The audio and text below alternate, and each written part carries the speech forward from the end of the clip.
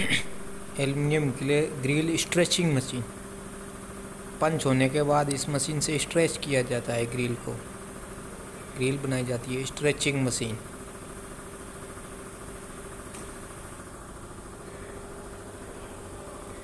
Grill stretching machine. Jaipur, Rajasthan में बनाई जाती है।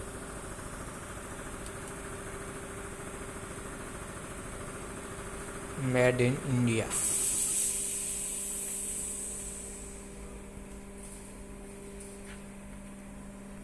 बनने दे बनने दे पूरी बनने